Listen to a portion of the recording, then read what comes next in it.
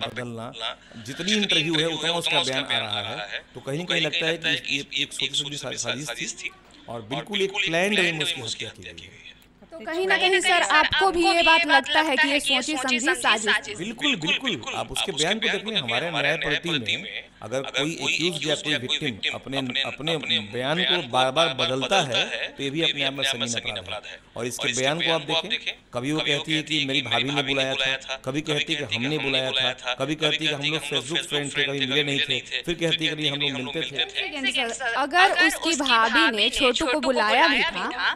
तो छोटू के साथ उसकी भाभी को मिलना चाहिए था आरती को वही तो हम बता रहे हैं कि उसके उसका बार बार बयान बदलना और उस छोटू का उसके साथ फ़िज़िकल रिलेशन बनाते हुए पाया जाना ये शादी की बात कहाँ हो रही थी? अगर उसकी भाभी ने बुलाया था तो दिन बुलाती वो। कभी कोई शादी ब्याह की बात भारतीय इतिहास में ऐसा नहीं हुआ कि रात में दो बजे हो। रहा हो। वो भी एक महिला एक पर पुरुष को अपने घर में बुला के शादी की बात करती है। शादी की बात करनी उसके पेरेंट्स को बुला लेते छोटू के गार्जियन को बुलाना चाहिए था। भाभी आरती गार्जियन थी तो गार्जियन गार्जियन से बात करता लेकिन डायरेक्टली आपने बुला लिया आरती को होने वाले पति को सोकल्ड पति को बुला लिया आपने। और बुलाने के बाद उसकी हत्या हो जाती है उसके भाभी को पता भी नहीं चलता कि भाभी कहाँ इसमें इन्वॉल्व थी। न मारने में है न मरवाने में है वो। आरती ने बुलाया भाई ने मारा सर एक सबसे इम्पोर्टेंट क्वेश्चन है जो कि काफ़ी लोगों ने बहुत गलत तरीके से फैल रहा है। कि रात के दो बजे अगर किसी के घर कोई लड़का आता है तो तो पिटाएगा ही। अधिकतर लोग ऐसा बात कह रहे हैं।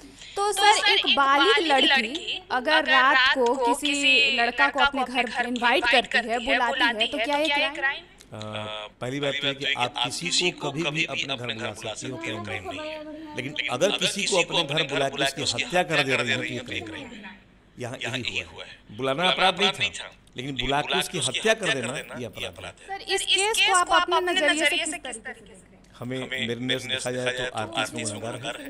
और पूरी जो प्रोसिक्यूशन स्टोरी है जो पूरा ये कहानी है मरने मारने वाली उसकी एक ही पायोलियो सेंटर में आरती आरती ने बुलाया आरती के कारण वो आया। आरती के प्लानिंग में इन्वॉल्व था वो और आरती के प्लानिंग में ही मारा गया।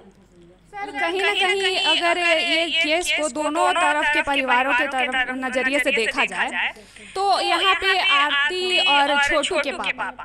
तो अब छोटू के पापा का कहना है कि आरती ही अब मेरा छोटू है हम अपना बेटा की तरह रखेंगे।